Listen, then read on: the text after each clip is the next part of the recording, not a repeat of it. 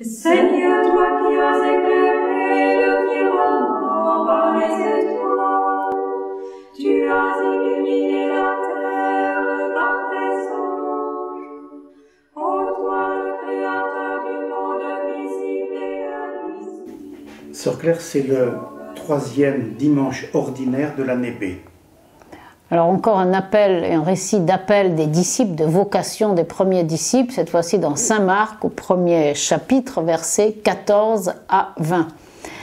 Euh, il nous est dit que l'appel des disciples ici se situe après l'arrestation de Jean-Baptiste et à ce moment-là, Jésus est parti pour la Galilée proclamer l'évangile de Dieu. La vie publique du Seigneur commence en Galilée, on va dire après se termine en Galilée, enfin même si l'ascension a eu lieu à Jérusalem, la prédication après la résurrection a eu lieu en Galilée et même Jésus a été conçu en Galilée. Euh, Jésus conçu en Galilée, tout le monde connaît ça par cœur, c'est le début de l'évangile selon Saint Luc où il est dit Le sixième mois, l'ange Gabriel fut envoyé par Dieu dans une ville de Galilée du nom de Nazareth.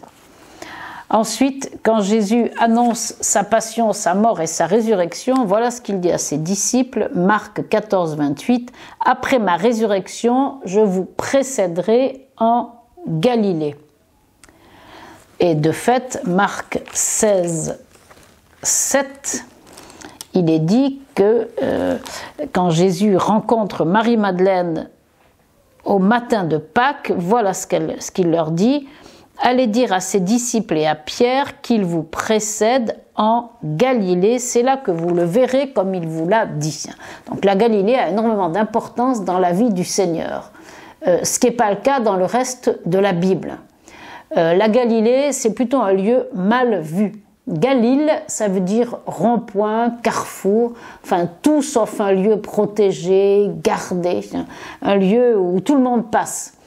Euh, en Galilée, Capharnaüm, en Galilée, il y avait la, route de la mer, la Via Maris qui passait là, donc beaucoup de monde, des marchands, des païens, etc. Euh, quand Isaïe, au chapitre 8, verset 23, cite ce pays, il l'appelle d'ailleurs Galilée des nations. 8, euh, 23 dans Isaïe, L'avenir, mais regardez ce que dit Isaïe, l'avenir glorifiera le chemin de la mer au-delà du Jourdain, le district des nations, qu'on peut parfaitement traduire par la Galilée des nations, parce que l'hébreu dit Hagalil Hagoim, hein, la Galilée des nations. Donc mystérieusement, Isaïe annonce qu'il y aura une gloire qui va être attachée à la Galilée, mais cette gloire, c'est Jésus. Au début de l'évangile selon saint Matthieu, euh, il cite L'évangéliste cite ce texte d'Isaïe, terre de Zabulon, terre de Nephtali, route de la mer, pays de Transjordan, Galilée des nations. Des nations ou des païens, c'est pareil, hein, c'est Matthieu 3, 15, euh, ce que je viens de lire. Euh, territoire mal vu parce que tout le monde passe, parce qu'il y avait des païens, parce que euh, il y avait des étrangers qui s'étaient installés là, etc. Et puis je vous dis route commerçante, route de la mer qui reliait Damas à Acre ou à Co, et donc beaucoup de monde, et voilà. Donc un territoire mal vu. On le sait parfaitement parce que euh, dans Saint Jean, au premier chapitre, au verset 46, vous avez euh, Nathanaël. Philippe dit à Nathanaël, ça y est, j'ai trouvé le Messie, celui dont la loi parlait, etc. C'est Jésus, le fils de Joseph de Nazareth. Réponse de Nathanaël, de Nazareth peut-il sortir quelque chose de bon? Et encore dans Saint Jean, toujours à propos de la Galilée, le prophète ne pouvait pas venir de Galilée. Jean 7, 52. Ils lui répondirent, es-tu de la Galilée toi aussi? Étudie, va lire les textes et tu verras que ce n'est pas de la Galilée que surgit le prophète. Euh, simplement étudie les textes, sauf euh, Isaïe 8, 23. Hein. C'est pas tous les textes parce qu'on vient de voir que Isaïe euh, l'annonce. Voilà. Donc l'importance de la Galilée qui est le lieu où l'évangile de Dieu sera proclamé. Ça veut dire que cet évangile est pour tous, que personne n'en est exclu. C'est l'ouverture sur le monde et sur le monde des païens, la Galilée. Et là, que fait Jésus? Il disait, les temps sont accomplis, le règne de Dieu est tout proche, convertissez-vous et croyez dans l'évangile. Donc il proclame l'évangile de Dieu. Hein. Tout le monde sait maintenant que évangile c'est du grec, que si vous traduisez ça en français, ça donne bonne nouvelle. La bonne nouvelle, il y en a qu'une, c'est toujours la même. Jésus vient ou Dieu vient nous sauver où le règne de Dieu approche. C'est la victoire du Seigneur sur toutes les forces du mal. C'est la venue de Dieu. C'est ça la bonne nouvelle. Euh, si on va voir dans Isaïe au chapitre 40 au verset 9, hein, il y a une messagère de bonne nouvelle, une évangélisatrice, monte sur une haute montagne, euh, évangélisatrice de Sion, toi qui annonces la bonne nouvelle de Sion, élève et force la voix, messagère de Jérusalem. Et qu'est-ce qu'il faut dire? Voici votre Dieu, voici le Seigneur Dieu. Et après, tel un berger, il fait paître son troupeau, de son bras, il rassemble les agneaux, c'est toujours des bénédictions. Même chose un peu sauf que là c'est un messager au masculin, euh, toujours dans Isaïe au chapitre 52 verset 7, qu'ils sont beaux sur les montagnes les pieds de l'évangélisateur ou de celui qui annonce la bonne nouvelle, le messager des bonnes nouvelles qui annonce le salut et qui dit à Sion, ton Dieu règne. Eh bien, le rapport avec ce que dit Jésus, la bonne nouvelle, c'est le règne de Dieu est tout proche. Euh, le règne de Dieu, c'est la présence de Jésus, roi parmi nous. Tous, ceux qui l'accueillent sont invités à le laisser régner en eux et à ce moment-là, le règne de Dieu est présent. Et euh, Jésus précise qu'il s'agit de la plénitude des temps avec la venue du Seigneur Jésus, les temps sont accomplis. Ça veut dire c'est plein. Toute l'annonce de la venue du Seigneur, toute la préparation est terminée, hein, comme un récipient qui serait plein. Il n'y a plus rien à ajouter à ce qu'avaient dit les prophètes. Un prophète qui parlerait de Jésus, et il y en a, bon, qui parle de Jésus en disant autre chose que ce que dit l'Évangile, ce sont des faux prophètes à partir de la venue de Jésus, plus aucun prophète n'est à attendre, puisque les temps sont pleins, le plérum, plénitude des temps, tout est accompli. Il nous reste simplement à accueillir le royaume qui vient en Jésus. Voilà, c'est ça la plénitude des temps. Accueillir Jésus comme l'accomplissement parfait de le sommet de toutes les prophéties. Euh, Saint Paul parle plusieurs fois de cette plénitude. Dans l'Épître aux Galates, chapitre 4, au verset 4, quand vint la plénitude des temps, Dieu envoya son Fils né d'une femme. On lit ce texte souvent pour les fêtes de la Vierge Marie. Ou encore dans l'Épître aux Éphésiens, premier chapitre, verset 10, il est dit que tout ce que Dieu avait projeté d'accomplir, hein, il a réalisé quand les temps sont accomplis c'est-à-dire il a ramené toutes choses sous un seul chef, le Christ, quand les temps ont été accomplis. On vient de fêter cet accomplissement, cette plénitude des temps avec la fête de Noël. Alors Jésus est au bord de la mer de Galilée. La Galilée, on en a parlé, euh, cette mer de Galilée, qui n'est pas vraiment une mer, mais qui s'appelle comme ça dans, l'Évangile, qui s'appelle aussi le lac de Tibériade ou le Kinéret, hein, euh, est une mer entre, il faut mettre des guillemets, qui fait 160 km, mètres 160 km carrés. Considérée comme une mer avec des tempêtes et moins 210 mètres au-dessous du niveau de la mer.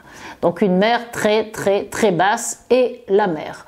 Tout pour nous dire que le Seigneur est venu chercher des pécheurs et non pas des justes. Alors ils étaient pécheurs et en plus ils étaient pécheurs. En tout cas, euh, ils vivaient très bas. Hein. très bas et en plus dans l'eau de la mer. Cette mer dont l'Ancien Testament nous parle dans les psaumes pour nous dire que c'est le lieu du péché d'orgueil, Psaume 89, verset 10, c'est toi qui maîtrises l'orgueil de la mer, quand ses flots se soulèvent, c'est toi qui les apaises ou encore au chapitre 57 d'Isaïe, au verset 20, les méchants sont comme la mer, agitée, qui ne peut se calmer, dont les eaux soulèvent la boue et la fange. Voilà ce que représente la mer. C'est pour ça que le Seigneur est allé chercher ses disciples là. Ils font partie du monde du péché. Et Jésus va les tirer très haut, mais il va les chercher très bas. C'est le cas d'ailleurs pour euh, chacun de nous à propos de la mer. Je vous rappelle que la mer rouge, la victoire sur la mer rouge, hein, c'est la victoire sur le péché d'orgueil, etc. Alors, ces disciples, ils ont des noms, et là, il y en a quatre qui sont cités. Alors, je vous lis un texte de Saint Jérôme sur l'étymologie de ces noms. Alors, à propos de Jacob, on peut dire autre chose, mais moi, je vais prendre Saint Jérôme pour aujourd'hui. Simon signifie obéissant, hein, celui qui écoute et qui obéit. André, viril. Jacques, celui qui supplante. Enfin, on va voir. Jean, ça veut dire la grâce. Les quatre vertus figurées par ces quatre noms nous transforment en l'image de Dieu. L'obéissance pour l'écouter, le courage viril pour combattre. La ruine de nos ennemis, c'est ça, c'est Jacob qui se bat contre les ennemis. La ruine de nos ennemis pour persévérer, la grâce pour assurer notre salut. Ces quatre vertus se rapportent, aux quatre vertus cardinales. En effet, la prudence nous rend l'obéissance facile, la justice nous fait agir avec énergie, la tempérance foule aux pieds le serpent infernal, la force nous fait mériter la grâce de Dieu. voilà, c'est un bon moyen de, réviser les quatre vertus cardinales en se mettant à la suite de Simon, André, Jacques et Jean. Donc Jésus les appelle et aussitôt ils répondent. Aussitôt ils répondent et ils laissent leur filet pour suivre Jésus. Ils n'ont pas tous exactement le même filet. Hein. Euh, en grec, Simon et André pêchent à l'épervier. Alors vous allez voir sur l'écran là une photo d'un épervier qui est la pêche solitaire, un épervier par pêcheur. Et les autres, ils vont laisser euh, leur père avec euh, les employés, avec ceux qui travaillaient. Euh, c'était une pêche communautaire. Hein. Donc les premiers ont plutôt choisi l'obéissance, ils ont aussitôt répondu à Jésus. Les seconds, la chasteté, en mettant l'affection pour Jésus au-dessus de toutes les affections humaines. Bon, je dis ça rapidement, mais euh, l'exemple de ces quatre premiers appelés est très important pour nous il y en a qui disent, alors il y a Saint Grégoire le Grand qui a fait une homélie en disant, il y en a parmi vous qui disent, en fait, ils n'ont pas laissé grand-chose, hein, parce qu'un filet, qu'est-ce que c'est? Alors, peut-être, Saint Grégoire le Grand, peut-être l'un ou l'autre d'entre vous, se dit-il en lui-même, qu'ont-ils laissé à la voix du Seigneur ces deux pécheurs qui n'avaient presque rien? Ils ont laissé leur épervier, voilà. En cette affaire, frères bien-aimés, nous devons peser plutôt l'amour que l'argent. Il a beaucoup laissé celui qui n'a rien gardé pour lui. Il a beaucoup laissé celui qui a abandonné le peu qu'il avait. Ils ont tout laissé. Les uns, la, vie communautaire et les autres, leur, leur gagne-pain personnel.